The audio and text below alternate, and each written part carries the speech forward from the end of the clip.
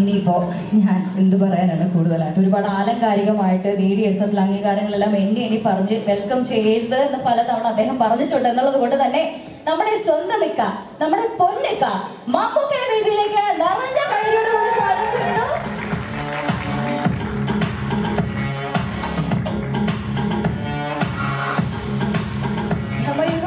കലിയുഗത്തിന്റെ ഒരു അപഭ്രംശം എന്ന് പറഞ്ഞു വെച്ചിരിക്കുന്ന ഡയലോഗിൽ നിന്ന് ശേഷം നമ്മൾ സ്ക്രീനിൽ കാണാൻ പോവുകയാണ് so please have a seat and now the desk is open for questions ഇനി നമ്മൾക്ക് നേരെ നമ്മളുടെ meet and greet and talk ചടങ്ങുകളിലേക്ക് കടക്കാം.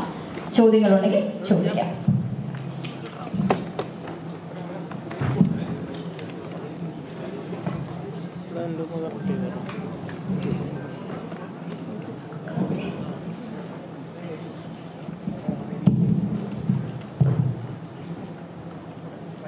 നമസ്കാരം. ഹലോ എല്ലാവർക്കും നമസ്കാരം. സോ ഈ പ്രമേയുഗം നമ്മുടെ ഫിലിം ഓഗസ്റ്റ് സോറി ഫെബ് ഫിഫ്റ്റീൻത്തിന് വേൾഡ് വൈഡ് റിലീസ് ആവുകയാണ്. And we are all waiting response അറിയാൻ വേണ്ടി and night shift studio and Wayanad സ്റ്റുഡിയോയുടെ ബാനറിൽ ചക്രവർത്തി രാമചന്ദ്ര സാർ പ്രൊഡ്യൂസ് ചെയ്ത് ശശി സാർ പ്രൊഡ്യൂസ് ചെയ്ത ഈ film completely shot black and white format and starring one and only Mamuka along with Arjun, Siddharth, Amanda and Mariana. So, ഇതിനെക്കുറിച്ച് സംസാരിക്കാനാണ് ഈ press meet വിളിച്ചത് uh, എല്ലാവർക്കും ഈ പ്രസ് മീറ്റിലേക്ക് സ്വാഗതം.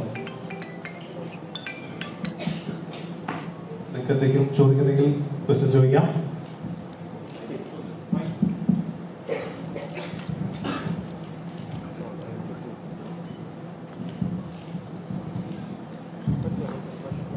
നമസ്കാരം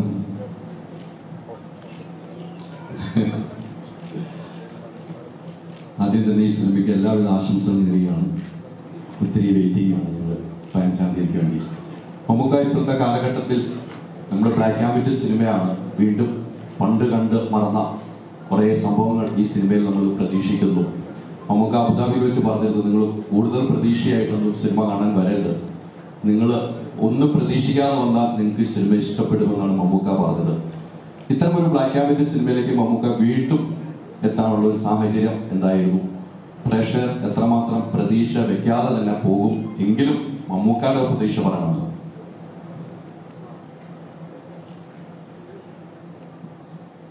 ഒന്നും പ്രതീക്ഷിക്കാതെ എന്ന് ഞാൻ പറഞ്ഞിട്ടില്ല. അതായത് നിങ്ങൾ ഒരു കാര്യങ്ങൾ തീരുമാനിച്ചു വരുന്ന കഥ എങ്ങനെയായിരിക്കും? നിങ്ങളൊരു കഥ ഉണ്ടാക്കി വരുന്നേ ഞാൻ പറഞ്ഞു. നിങ്ങൾക്കൊരു കഥയുണ്ട്. അത് നിങ്ങൾ സിനിമ കണ്ടറിയുന്നതാണ് അതിന്റെ ഭംഗി എന്നേ ഞാൻ പറഞ്ഞു. ഞാൻ അങ്ങനെ മാത്രമേ പറഞ്ഞു എന്നെ ആവശ്യമില്ലാതെ കുറ്റപ്പെടുത്തും. ഒരിക്കലുമില്ല അതൊരു ശുദ്ധ ഒരു എന്താ പറയുക ശൂന്യമായ മനസ്സോടെ സിനിമയ്ക്ക് നമ്മളൊരു ഈ ട്രെയിലർ കാണുമ്പോഴും പോസ്റ്റർ കാണുമ്പോഴും ഒക്കെ നമ്മുടെ മനസ്സിലേക്ക് പോയി പറയുന്നത് ഡീകോഡ് ചെയ്തിട്ട് അങ്ങനെ ആയിരിക്കും ഇങ്ങനെ ആയിരിക്കും എന്നൊക്കെ പറയും. അതൊന്നും ആയിരിക്കണം എന്നില്ല ചിലപ്പോൾ ആവാം ഇല്ലെന്ന് ഞാൻ പറയുന്നില്ല. പക്ഷെ അതുകൊണ്ടൊരു സിനിമ കാണുമ്പോൾ നമുക്ക് അതിനോട് ത്രില്ല് നഷ്ടപ്പെട്ടു പോകരുത്. അതുകൊണ്ടാണ് ഞാൻ പറഞ്ഞത്. നിങ്ങൾക്ക് വേണ്ടി ഞാൻ പറഞ്ഞതാണ്. സിനിമ കാണുമ്പോൾ സിനിമ ഇനിയൊന്നും മാറ്റാൻ നോക്കിയാലേ സിനിമ ഓൾറെഡി ആയിപ്പോയി. അപ്പോൾ അങ്ങനെ ആയിരിക്കാം ഇങ്ങനെ ആയിരുന്നെങ്കിൽ എന്നൊന്നും പറഞ്ഞിട്ട് കാര്യമില്ല. നിങ്ങൾക്ക് നമുക്ക് അങ്ങനെ ഒരു ആഗ്രഹം തോന്നുന്നു അതുകൊണ്ട് സിനിമ കാണാൻ ഏഹ്, തീരുമാനങ്ങളൊന്നും എടുക്കാതെ ഇതിനിപ്പോൾ ഒരു മലയാളത്തിലെ വാക്ക് ഇങ്ങനെ ഇടിക്ക് വെല്ലുപിടിയുണ്ട് അല്ല നമ്മൾ സിനിമ കാണാൻ വരുമ്പോഴേ ഒരു മുൻവിധിയോടുകൂടി മുൻവിധിയോടുകൂടി വരും. മുൻവിധി എന്ന് പറയുമ്പോഴും അത് കുറച്ചുകൂടെ പരുഷമായി പോകുന്നില്ല ഒരു എന്തോ ഒന്ന് കാണാൻ വരുന്നു എന്ന് തന്നെ പറയും. നമ്മൾ വിചാരിക്കുന്നത് കാണാൻ വരുന്നു വിചാരിക്കുക അങ്ങനെയുള്ളൂ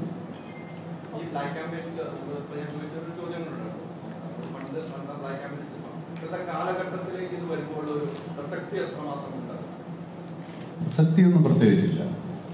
അത് ബ്ലാക്ക് ആൻഡ് വൈറ്റിൽ എടുക്കുക ഇതൊരു കാലഘട്ടത്തിന്റെ സിനിമയാണ്. സിനിമ ഇല്ലാതിരുന്ന ഒരു കാലമായിരിക്കും അല്ലേ? സിനിമ ഇല്ലാതിരുന്ന ഒരു കാലത്താണ് ഈ സിനിമ നടക്കുന്നത്. അതുകൊണ്ട് ഞങ്ങൾ ബ്ലാക്ക് ആൻഡ് വൈറ്റ് ആക്കി എന്ന് വേണമെങ്കിൽ പറയാം. അതുമല്ല ബ്ലാക്ക് ആൻഡ് വൈറ്റ് പുതിയ തലമുറയ്ക്ക് ഒട്ടും ആ, അനുഭവിച്ചിട്ടില്ലാത്തൊരു സംഭവമാണ്. അതുകൊണ്ട് അതൊന്ന് കണ്ടറിയാം പിന്നെ ഈ സിനിമ അതിന് പറ്റിയ ഒരു സിനിമയാണ്. ഒരു കാലം കൊടുത്തുകൂടെ ആളുകൾക്കിലേക്ക് സത്യസന്ധമായി മനസ്സിലാക്കാനോ അല്ലെങ്കിൽ അവർക്കത് ഫീൽ ചെയ്യിക്കാൻ തോന്നുന്നത് കൊണ്ടാണ് കുറച്ചുകൂടെ പഴയ കാലത്തെ ബ്ലാക്ക് ആൻഡ് വൈറ്റ് എടുത്തത്. നമ്മൾ ഈ പണ്ടൊക്കെ ഫ്ലാഷ് ബാക്ക് കാണിക്കും ബ്ലാക്ക് ആൻഡ് വൈറ്റ് കാണിക്കുമായിരുന്നു ആദ്യകാലം അങ്ങനെയാണ് ഞങ്ങൾക്ക് അതിൽ നിന്നൊരു പ്രചോദനം ഉണ്ടായിരുന്നു പിന്നെ ഒരുപാട് സിനിമകൾ വന്നിട്ടുണ്ട്. ഇപ്പോഴും സിനിമകൾ എടുക്കാതിരിക്കുന്നില്ല ആളുകൾ. ബ്ലാക്ക് ആൻഡ് വൈറ്റ് സിനിമ നമ്മുടെ ഒരു നൊസ്റ്റാൾജിയില്ല ഒരു അത് പല ഹോളിവുഡ് സിനിമ ഫിലിം മേക്കേഴ്സിനും ഒക്കെ ഉണ്ട്. വലിയ സിനിമകളിൽ ഓസ്കർ അവാർഡ് കിട്ടിയ സിനിമകളൊക്കെ ഉണ്ട്. ഈ അടുത്ത കാലത്ത് എന്താ അഞ്ചെട്ട് വർഷം മുമ്പ് ആർട്ടിസ്റ്റ് എന്ന് പറയുന്ന cinema black and white thirty five അവരെടുത്തു അപ്പൊ അത് നമ്മൾ അത്രത്തോളം ആലോചിച്ചിട്ടല്ല. നമ്മുടെ ഒരു ആഗ്രഹത്തിന് വേണ്ടി ബ്ലാക്ക് ആൻഡ് വൈറ്റ് സിനിമ നമുക്കും വേണ്ടി വരണം അല്ലേ? നമുക്ക് ഫസ്റ്റ് ഓഫ് ഓൾ ഇന്നത്തെ ഔട്ട്ഫിറ്റ് അടിപൊളിയായിട്ടുണ്ട്. ബ്ലാക്ക് ആൻഡ് വൈറ്റ് അല്ലേ? എല്ലാരും ബ്ലാക്ക് ആൻഡ് വൈറ്റ് അല്ലേ? ഞാൻ ഇവരെല്ലാരും വൈറ്റ് ആൻഡ് ബ്ലാക്കും ഞാൻ ബ്ലാക്ക് ആൻഡ് വൈറ്റും ആണ്. പിന്നെ ഈ ചിത്രം ഒരു ടൈം ലൂപ്പാണ് ടൈം ലൂപ്പാണ് ട്രെയിലർ കാണുമ്പോൾ അങ്ങനെ തോന്നിയിട്ടുണ്ടാവും പക്ഷെ അത് ടൈം ലൂപ്പ് ഒന്നുമല്ല. പക്ഷെ അത് അതിൽ കുറച്ച് എക്സ്പെരിമെന്റൽ പരിപാടിയുണ്ട്. നിങ്ങളത് കണ്ട് എക്സ്പീരിയൻസ് ചെയ്യാന്നുള്ളതാണ് ഇപ്പം ഈ ചിത്രത്തിന്റെ അനൗൺസ്മെന്റിലും കാര്യങ്ങളും കണ്ടു. പിന്നീട് ബ്ലാക്ക് ആൻഡ് വൈറ്റ് ആണെന്ന് പറഞ്ഞപ്പോൾ മമ്മൂട്ടിയെ മമ്മൂട്ടി ബ്ലാക്ക് ആൻഡ് വൈറ്റിൽ കാണുന്ന എക്സൈറ്റ്മെന്റും പ്രേക്ഷകർക്കുണ്ട്. അതിലുപരി മമ്മൂക്കയുടെ മേക്ക് ഓവർ ആണ് യഥാർത്ഥത്തിൽ നമ്മളെയൊക്കെ എക്സൈറ്റ്മെന്റ് ചെയ്തത്. അതിലേക്ക് എത്തിയത് ഈ കഥ പറയുമ്പോൾ തന്നെ ഞാൻ എന്റെ ഒരു ഇനീഷ്യൽ സ്കെച്ച് ഉണ്ടായിരുന്നു ക്യാരക്ടർ സ്കെച്ച് ഉണ്ടായിരുന്നു. അത് ഞാൻ മമ്മൂട്ടിക്ക് കാണിച്ചു കൊടുത്തു. അപ്പോൾ അവിടുന്ന് കുറച്ച് സ്ക്രിപ്റ്റ് റീഡിങ്ങിന്റെ ഡിസ്കഷനും അതിന്റെ ക്യാരക്ടർ ഡിസൈനൊക്കെ ആയി വരുമ്പോൾ തന്നെ ഒരുപാട് ഡിസ്കസ് ചെയ്ത് നമുക്ക് ഇങ്ങനെ ചെയ്യാം ഇങ്ങനെ ഒരു മേക്ക് ഓവർ കൊണ്ടുവരാം എന്ന് പറഞ്ഞിട്ടാണ്. അത് ഇതൊരു പീരിയഡ് ഫിലിം ആയതുകൊണ്ട് ഒരു കുറച്ചു കാലം മുമ്പ് നടക്കുന്ന കഥയായത്. ഇങ്ങനത്തെ ഒരു ക്യാരക്ടർ വന്ന രസമായിരിക്കും എന്ന് തോന്നി. അപ്പൊ നിങ്ങൾക്ക് എല്ലാവർക്കും ഇഷ്ടമായില്ല ഈ ക്യാരക്ടർ പറഞ്ഞ ഒന്ന് മനസ്സിലായി രണ്ടു മൂന്ന് ദിവസം കൂടെ അല്ലോ വില്ലൻ എന്നൊക്കെ പറയുന്ന വാക്കുകൾ പോലും ഇല്ലാതിരുന്ന കാലത്താണ് ഈ സിനിമ. അല്ലേ എടി? അങ്ങനെ ലക്ഷ്മി നാടകങ്ങളൊക്കെ ഉണ്ടാവും പക്ഷെ അങ്ങനെയല്ല. എന്നാൽ നമ്മൾ സാധാരണ കാണുന്ന ദുഷ്ടകഥാപാത്രങ്ങളെ വില്ലൻ എന്ന് വിളിക്കുന്ന കാലം ഉണ്ടായിരുന്നു തോന്നുന്നു ഞാൻ അടുത്ത കാലത്ത് ജനിച്ചോട്ടാണ് അത്ര പരിപാടി. സിനിമയിൽ ആ കഥാപാത്രത്തിന് മിസ്റ്ററി ഉണ്ട്. ഭയങ്കരമായ മിസ്റ്ററി ഉണ്ട്. പക്ഷെ നമ്മളിവിടെ നിന്ന് ഇപ്പൊ പറഞ്ഞാലും നിങ്ങൾ സിനിമ കണ്ട ആരോടെങ്കിലും പറഞ്ഞാലും പിന്നീട് കാണാൻ പോകുന്ന ആൾക്കാരുടെ ഒരു അതുകൊണ്ട് വില്ലനോ നായകനോ അങ്ങനെ സിനിമയിലുണ്ടോ വില്ലനും നായകനും കഥാപാത്രങ്ങൾ അവർക്ക് എല്ലാത്തരം വികാരങ്ങളും ഉള്ളവർ പിന്നെ ഇത് ധർമ്മം അധർമ്മം അതൊന്നും ഉള്ള സിനിമയാണെന്ന് പറയാൻ പറ്റില്ല. ഇനി അതൊക്കെ നിങ്ങൾ കണ്ടെത്താം. ഒരു കലാസൃഷ്ടിക്ക് എപ്പോഴും പ്രേക്ഷകനിലാണ് കൂടുതൽ അതിന്റെ ആസ്വാദനം കൂടുതൽ സംവിധായകരോ കഥാകൃത്തോ അല്ലെങ്കിൽ നടന്മാർക്കോ ഉള്ളതിനേക്കാൾ കൂടുതൽ രസം അനുഭവിക്കുന്നത് പ്രേക്ഷകൻ അതൊന്നും കളയാതെ ചോരാതെ പോവുക എന്നുള്ളതാണ് നോക്കുക എന്നുള്ളതാണ് സംവിധായകന്റെ ശ്രമിച്ചിട്ടുണ്ട്. പിന്നെ സിനിമ രസിക്കുക എന്നുള്ളത് പ്രേക്ഷകന്റെ കടമയാണ് അവരുടെ തീരുമാനം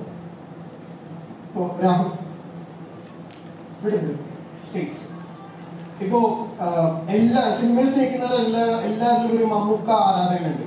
അപ്പോ മമ്മൂക്കയുടെ ഇങ്ങനെ ഡേറ്റ് സിനിമ ചെയ്യുന്ന അവസരം കിട്ടുക എന്ന് പറയുമ്പോൾ അദ്ദേഹത്തിന് കൂടെ പുതുതായിട്ട് എന്ത് ചെയ്യിക്കാം എന്നുള്ള ഒരു തോട്ട് അവിടെ എപ്പോഴും റെലവെന്റ് ആണ് ഇപ്പോ അന്ന് റഷീദൊക്കെ ഏകദേശം ഒമ്പത് മാസത്തോളം ആലോചിച്ചിട്ടാണ്. ഊമയായിട്ട് നമുക്ക് ഇതുവരെ കിട്ടില്ല അങ്ങനെ അണ്ണൻ നമ്പിക്കുണ്ടാകുന്നത് അപ്പോ ഈ പറഞ്ഞ പോലെ പുതുമ തേടി പോകുന്ന ഒരു നടനിലേക്ക് സിനിമ എത്തിക്കുമ്പോഴുള്ള ഒരു മെയിൻ റിസ്ക് ആണ് വെച്ചത് ഇല്ല ഒരു ടൈം വെച്ച് നോക്കുമ്പോൾ ഓഡിയൻസ് നമ്മളെല്ലാവരും അത്രമാത്രം ഡിസ്ട്രാക്റ്റഡ് ആണ്. അപ്പോൾ ഒരു കോൺസെപ്റ്റ് എഴുതുമ്പോൾ അത് എത്ര നേരം അവരെ ഹുക്ക് ചെയ്ത് ഇരുത്താൻ പറ്റും എന്നുള്ളൊരു ഇന്റൻഷനിലാണ് നമ്മളൊരു കഥ എഴുതുന്നത്. അപ്പോൾ എന്റെ എല്ലാ ഫിലിം മേക്കേഴ്സിനെ പോലെ ഒരുപാട് പേര് സ്വപ്നം കാണുന്നത് പോലെ എന്റെ വലിയൊരു ആഗ്രഹമായിരുന്നു മമ്മൂക്കെ വെച്ചൊരു പടം ചെയ്യാനുള്ളത്. അപ്പൊ അത് എന്റെ ആദ്യത്തെ പടം രണ്ടായിരത്തി പന്ത്രണ്ടിലാണ് റിലീസായത്.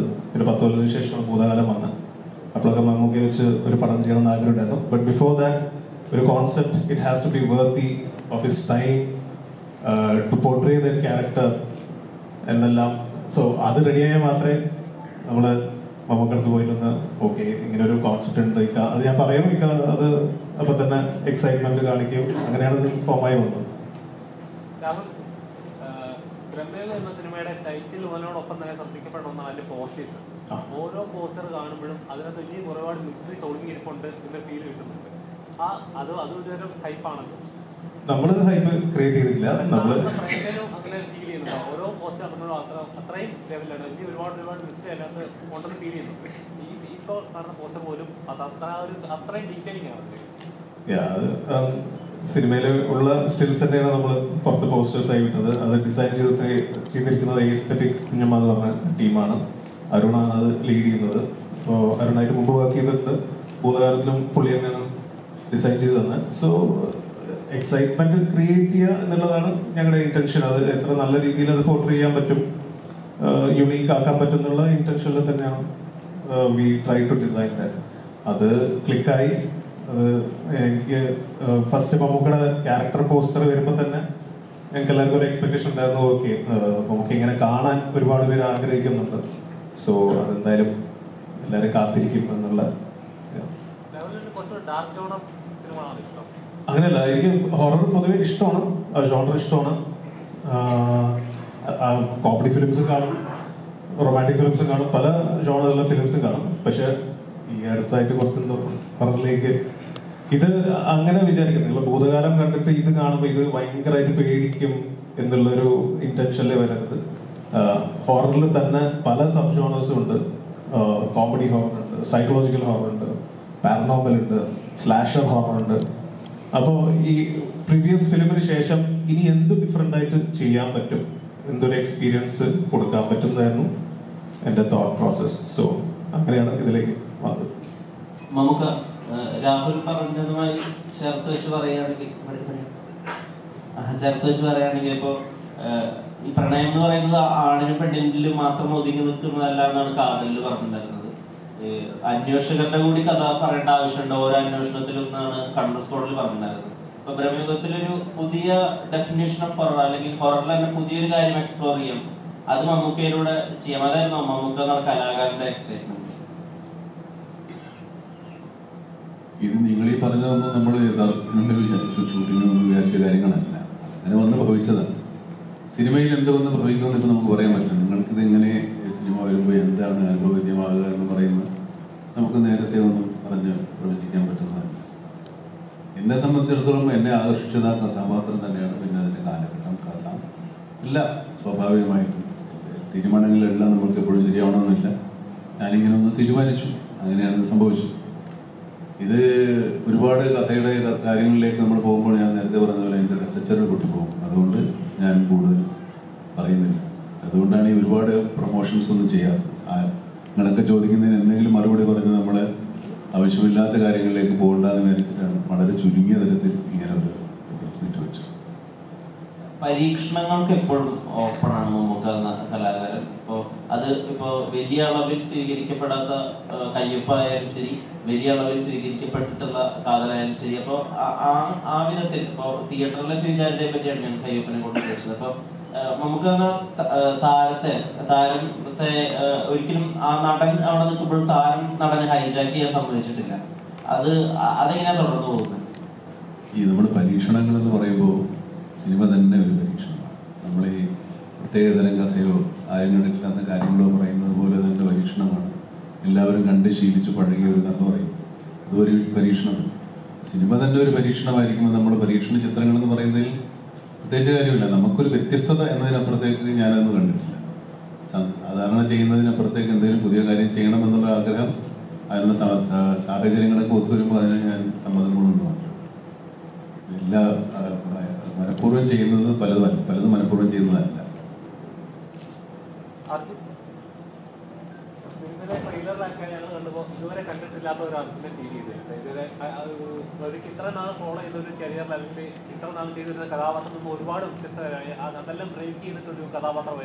ബ്രഹ്മയുഗത്തിൽ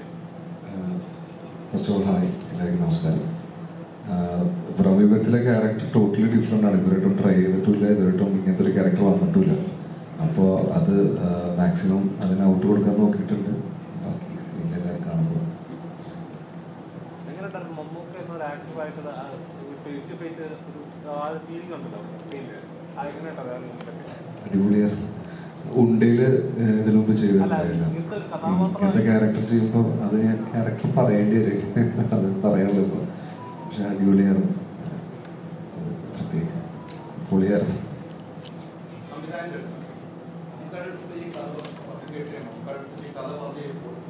മൂന്ന് കാര്യങ്ങളാണ് പറഞ്ഞത് ആദ്യം കഥയെക്കുറിച്ച് പറഞ്ഞു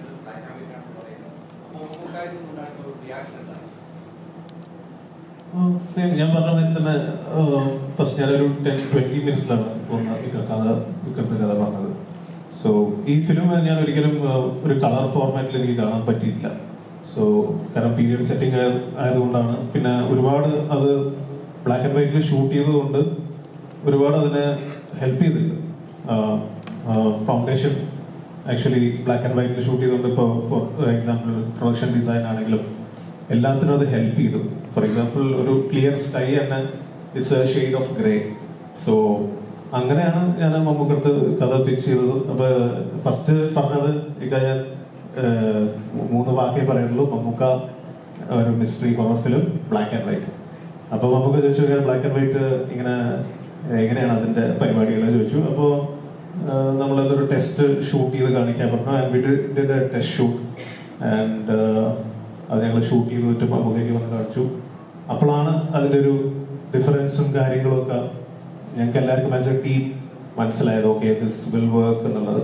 സോ അത് അത് സപ്പോർട്ട് ചെയ്യാൻ I need to have a very good producer so Ram സാറാണ് is a man behind supporting my vision so yeah it's a, it's a collective effort. It's a very collective effort. Unfortunately നമ്മുടെ D O പിയുടെ ഇതില്ല എത്താൻ പറ്റിയില്ല mister ഷെനാജ് ജലാലാണ് ഇത് shoot ചെയ്തത്. This is my second collaboration with so പുള്ളി ഉണ്ടായിരുന്നെങ്കിൽ കുറച്ചും കൂടെ അതിനെക്കുറിച്ച് സംസാരിക്കാമായിരുന്നു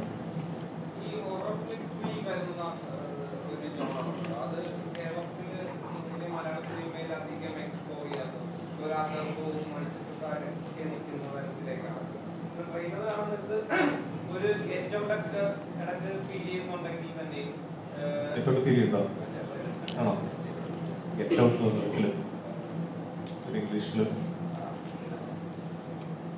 കുറച്ചു മുമ്പ് പറഞ്ഞു ആ ഈ ട്രെയിലർ ഇടപോ അല്ല അങ്ങനത്തെ പടമല്ല.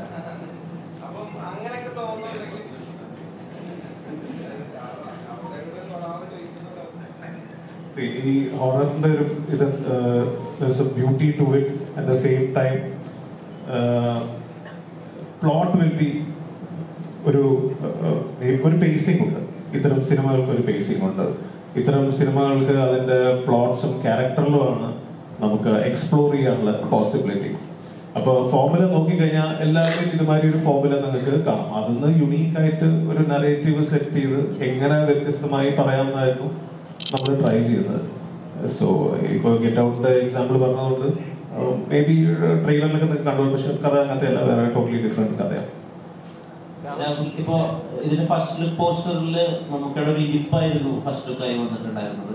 നമ്മൾ നോക്കുകയാണെങ്കിൽ സമാനമായിട്ട് ഭീഷ്മപർവത്തിൽ ഇതുമായിട്ട് ഏറെക്കുറെയൊക്കെ സാമ്യമുള്ള ഒരു ഇരിപ്പായിരുന്നു ഭീഷ്മപർവത്തിന്റെ ഫസ്റ്റ് ലുക്ക് പോസ്റ്റർ അപ്പോൾ ഒരേ വിധത്തിലുള്ള ഒരു ശരീരഭാഷയാണ് ഒരാളോട് പിന്നെയും ഒരു ഫസ്റ്റ് പോസ്റ്ററായിട്ട് ഒരു ഫോട്ടോഷൂട്ടിന് വേണ്ടി പറയുന്നു അപ്പോ ഈ ഈ ഭീഷ്മയ്ക്കുള്ള ഒരു മാസും ഇതിനകത്ത് വരുന്ന ഒരു മിസ്റ്ററി ആയിട്ടുള്ള ഒരു ചിരിയും ഉണ്ട് ഇതൊക്കെ ഫീൽഡിൽ തന്നെ നമുക്ക് പറഞ്ഞിട്ട് അത് വരുന്നതാണ്. നമ്മളത് ഫസ്റ്റ് ഡേ ഷൂട്ടിന്റെ ആ ദിവസം എടുത്തതാണ്. ഫസ്റ്റ് ലുക്ക് പോസ്റ്ററിന്റെ സ്റ്റില്ല് സോ അതാരോടാണ് അത് കോർഡിനേറ്റ് ചെയ്തത്. But we all had this idea അപ്പൊ നമുക്ക് വന്നു. കുറെ സ്റ്റിൽസ് കുറെ പോസ്റ്റേഴ്സ് തന്നു അതെടുത്തു എടുത്തു. അതിൽ the best one we chose അതാണ് പോസ്റ്ററായിട്ട് കാണുന്നത്. ഏട്ടാ? ഭീഷ്മയുടെ ഫസ്റ്റ് പോസ്റ്റർ ഓർമ്മയുണ്ട്? അങ്ങനെ ഇരിക്കുന്നു അങ്ങനെയാണ് ഇരിക്കുന്നത്. അല്ല? ഭീഷ്മയിൽ ഇങ്ങനെ. അപ്പൊ സെയിം ബോഡി ലാംഗ്വേജ് ആണ്. എന്നെ ചതിക്കരുത് ഞാൻ ഒരുപാട്. അല്ല നമുക്ക് ഈ നമുക്ക് കുറെ ഇൻഫ്ലുവൻസുകൾ കൊടുക്കുന്നു പറഞ്ഞിട്ടുണ്ട്. കേട്ടിട്ടുണ്ട്. അതില്ലല്ലോ ഞാൻ കണ്ടിട്ടില്ല. കാലം അല്ല, അപ്പോ പറഞ്ഞ കേട്ടതും കണ്ടതും അല്ലെങ്കിൽ വായിച്ചതും ഒന്നും പറ്റൂല. എന്ത് കാണാൻ? അല്ല, കാലം നമുക്ക് നമ്മൾ കാണുന്നത് നമ്മൾ ജീവിച്ചിരിക്കുന്ന കാലത്ത് മാത്രമേ ഉള്ളൂ. നമ്മൾ എത്രയോ കാലം മുമ്പ് നടക്കുന്ന കഥയാണ്. അപ്പൊ അതിനകത്ത് ഒബ്സർവേഷനും ഇൻഫറൻസും ഒന്നുമില്ല സങ്കല്പം- മാത്രമേ ഉള്ളൂ. അല്ല അപ്പൊ എങ്ങനെ ഷൂവിന്റെ ആകാശത്ത് പിടിച്ചെടുക്കുന്ന എന്തെങ്കിലും ഉണ്ടെങ്കിലും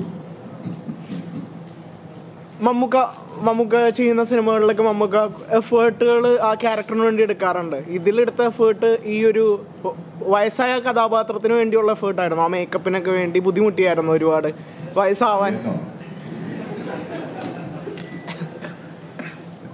സിനിമ കാണാം. നീട്ടിക്കൊണ്ട് പോകുന്നില്ല. നമുക്ക് ചെയ്യുന്ന ഓരോ കഥാപാത്രമായാലും ഒരു യൂണീക്ക് ആയിട്ട് സ്കിൽ ഉണ്ടാവും. അത് ആ കഥ ആക്ഷൻ ആയിരിക്കാം എക്സ്പ്രഷൻ ആവാം.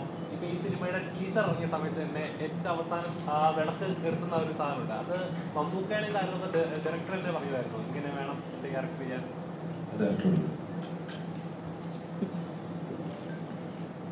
അത് ഞങ്ങൾ കുറച്ച് ഷോർട്സ് അതിനു വേണ്ടി ടീസറിനും ട്രെയിലറിനും വേണ്ടിയിട്ട് ഷൂട്ട് ചെയ്തതാണ്. അത് നിങ്ങൾ സിനിമ എന്തായാലും രണ്ട് ദിവസത്തിൽ കാണുമ്പോൾ അറിയാം. എന്തൊക്കെ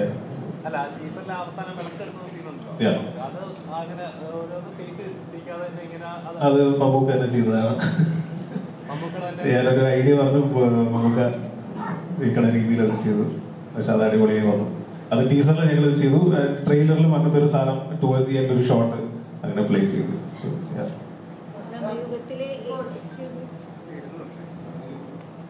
ബ്രഹ്മയുഗത്തിന്റെ ഈ ഫസ്റ്റ് പോസ്റ്റർ തൊട്ട് കാണിക്കുന്ന ഈ ട്രെയിലറിന്റെയും അവസാനം. പിന്നെ മമ്മൂട്ടി തന്നെ ഇൻസ്റ്റഗ്രാമിൽ ഇതിന്റെ ട്രെയിലർ ലോഞ്ചിനെ എല്ലാവരും ക്ഷണിച്ചുകൊണ്ടുള്ള ഇതിലൊക്കെ വന്നിരുന്നത് ആ ചിരിയാണ് ഏറ്റവും കൂടുതൽ ചർച്ചയായിരുന്നത്.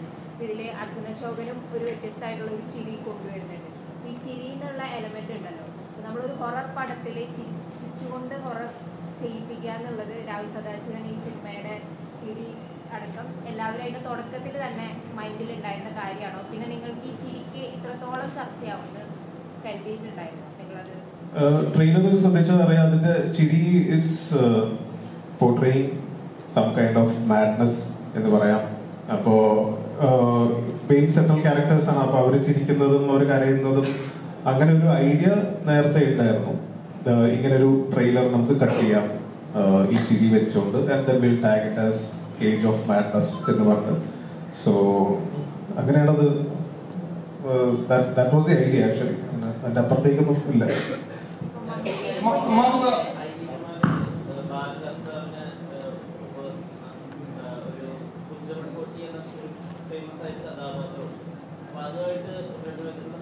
ഇല്ല അങ്ങനത്തെ ഒരു ക്യാരക്ടറായിട്ട് നമ്മുടെ ഫിലിമിലൊന്നും പറയുന്നില്ല.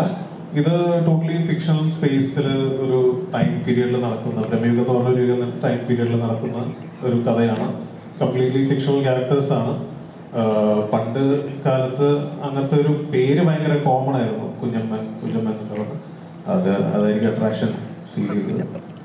അപ്പൊ പക്ഷെ ഈ ഈ കഥയ്ക്ക് വളരെ അത്യാവശ്യമായിരുന്നത് എനിക്ക് ടി ഡി സാറിന്റെ മാതിരി ഒരു സാറിന്റെ സപ്പോർട്ടിൽ ഡയലോഗ്സ് ഫ്രെയിം ചെയ്യാനും അങ്ങനെ കുറച്ച് ഞാൻ കുറച്ച് ടൈം എടുത്തിട്ടാണ് ഈ കഥ എഴുതുന്നത്. സോ ഐ നീഡ് സപ്പോർട്ട് അങ്ങനെയാണ് ടി വി സാർ ഇതിൽ ഈ പ്രോജക്റ്റിലേക്ക് വരുന്നത്.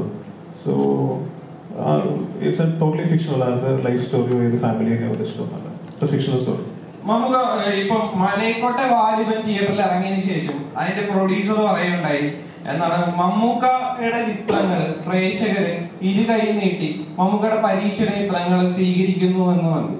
അപ്പം പക്ഷെ പ്രേക്ഷകർക്ക് അറിയാം ആ സ്റ്റേറ്റ്മെന്റ് കേൾക്കുമ്പോൾ തന്നെ പ്രേക്ഷകർക്ക് അറിയാം എന്താണ് ഞങ്ങൾ കണ്ട കാലം മുതലേ യഥാർത്ഥത്തിൽ ഈ ആക്ടർ അൺപ്രഡിക്റ്റബിൾ ആണ് എന്ന അർത്ഥത്തിൽ നമുക്കറിയാം. എന്തും ചെയ്യും എന്ന അർത്ഥത്തിലും നമുക്കറിയാം. അപ്പൊ മമ്മൂക്ക എങ്ങനെയായിരുന്നു ആ സ്റ്റേറ്റ്മെന്റിനെ കണ്ടത്?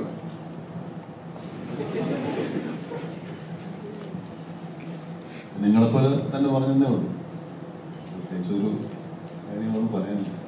നിങ്ങൾ എന്തും ചെയ്യും എന്നുള്ള തീരുമാനം എനിക്ക് സൂചിച്ചു അല്ലെ? എന്നെ സംബന്ധിച്ചിടത്തോളം എന്തും ചെയ്യണം എന്നാണ് എന്റെ ആഗ്രഹം. അതിൽ എന്റെ സിനിമയിൽ ഇത് നമ്മൾ വന്നപ്പോൾ ഇപ്പോൾ കാണുന്ന ഈ ഒന്നും പ്രതീക്ഷിച്ചിട്ടല്ല സിനിമ സിനിമയിൽ ഞാൻ പ്രതീക്ഷിച്ച സിനിമ മാത്രം. എനിക്ക് സിനിമ മാത്രമേ ഇഷ്ടമുള്ളൂ ബാക്കി കിട്ടുന്നതൊക്കെ ബോണസാണ് അപ്പോൾ ബോണസിനെ കുറിച്ച് ആലോചിക്കാതെ തന്നെയാണ് സിനിമയിൽ ഞാൻ ഇനി അങ്ങോട്ടും അങ്ങനെ ആവാനാണ് എന്റെ ശ്രമം. പക്ഷെ ഒരു കാര്യം എനിക്ക് നിങ്ങളോട് ചോദിക്കാനുള്ള കൂടെ ഉണ്ടാവും. വഴി ഇട്ടിട്ട് കളയും. അടുത്തായിരുന്നു. ഞങ്ങളുടെ കുറെ നോവലുകളൊക്കെ ഉണ്ട്. ഈ സിനിമയിലേക്ക് വന്നപ്പോൾ ഇതിന്റെ റൈറ്റിംഗ് സമയത്ത് മമ്മൂക്കായ മുന്നിൽ കണ്ടുകൊണ്ട് തന്നെയായിരുന്നു താങ്കൾ ഒരു റൈറ്റിംഗ് തീർച്ചയായിട്ടും രാഹുൽ എന്റെ അടുത്ത് മമ്മി കാര്യം പറയുമ്പോൾ നമ്മൾ കുറച്ച് പുറകിലുള്ള ഒരു കാലത്തെ കഥയാണ് പറയുന്നത്. ആ കാലത്തെ കാര്യങ്ങൾ അതേപോലത്തെ സംഭാഷണങ്ങൾ വിവരിച്ച ശരിയാണ്. ഏറ്റവും അതിന് യോജിക്കുന്ന രീതിയിലുള്ള ഒരു ഡയലോഗ്സ് ആണ് പ്രിപ്പയർ ചെയ്തത് അഭിനയിച്ചിരിക്കുന്നത്. ആ ഒരു എക്സ്പീരിയൻസ് എങ്ങനെയുണ്ടായിരുന്നു? ലേണിംഗ് എക്സ്പീരിയൻസ് ആയിരുന്നു. എന്തൊക്കെ പഠിക്കാൻ പറ്റി? അഭിനയം പഠിക്കാൻ പറ്റി. സിദ്ധാർത്ഥ ഈ പറഞ്ഞതുപോലെ അച്ഛന്റെ കാലം അമ്മയുടെ കാലഘട്ടമൊക്കെ ബ്ലാക്ക് ആൻഡ് വൈറ്റ് സിനിമ ഉണ്ട് ഒത്തിരി അഭിനയിച്ചു വന്ന. അതേ ബ്ലാക്ക് ആൻഡ് വൈറ്റ് സിനിമയിലേക്ക് ഇപ്പൊ സിദ്ധാർത്ഥ എത്തുമ്പോൾ അതൊരു വല്ലാത്തൊരു അനുഭവമായിരിക്കുമല്ലോ. അതെ തീർച്ചയായും. തീർച്ചയായും. ആദ്യമായിട്ടല്ല ചെയ്യുന്നത്. നമ്മളൊരു ബ്ലാക്ക് ആൻഡ് വൈറ്റ് സിനിമയിൽ അഭിനയിക്കാൻ പറ്റുന്നു. നമ്മളത് യാഥാർത്ഥ്യമായിട്ട് അത് കാണുന്നു തിയേറ്ററിലേക്ക് എത്തുന്നത്. അതൊരു പുതിയ അനുഭവം തന്നെയാണ്. പ്രേക്ഷകരെ പോലെ തന്നെ അവർക്ക് വർക്ക് ചെയ്ത ആൾക്കാർക്കും പുതിയ അനുഭവം തന്നെ നമുക്ക് ടർബോ തിയേറ്റർ കുലുക്കു ഇപ്പൊ കുലുക്കൽ ട്രെൻഡാണല്ലോ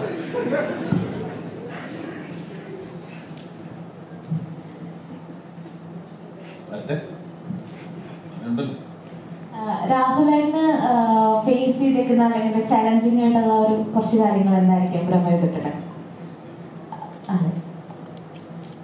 ഫേസ് ചെയ്ത എനിക്കൊരു പേടിയായിരുന്നു മമ്മൂക്കിടൊപ്പം ആദ്യം ആക്ഷൻ കട്ടെന്നൊക്കെ പറയാം ഓൾറെഡി ഒരു ഹൊറർ ഫിലിം ചെയ്തതാണെങ്കിൽ പോലും.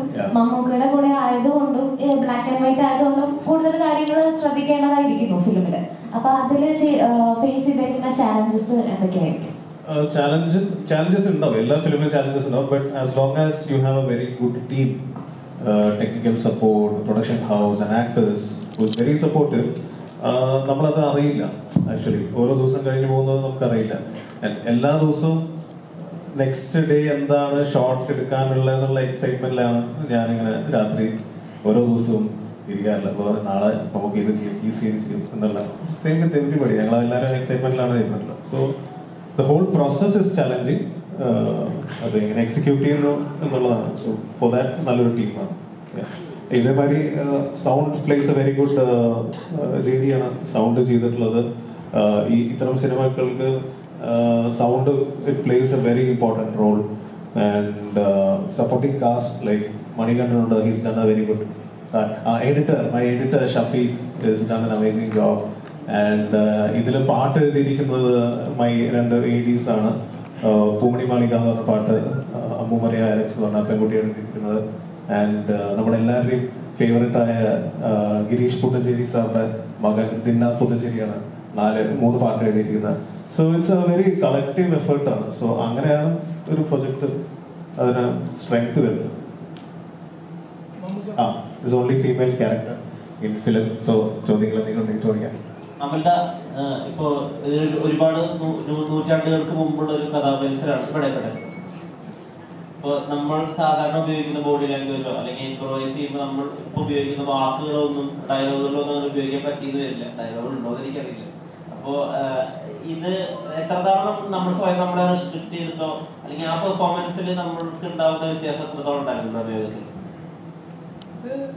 ഒരു സങ്കല്പം സങ്കല്പത്തിലുള്ള ഒരു കഥാപാത്രമാണ് ബാബു എന്ന് പറഞ്ഞു കഴിഞ്ഞാൽ നമ്മുടെ ഒരു ഇമാജിനേഷൻ പോലെയാണ്. അറിയില്ല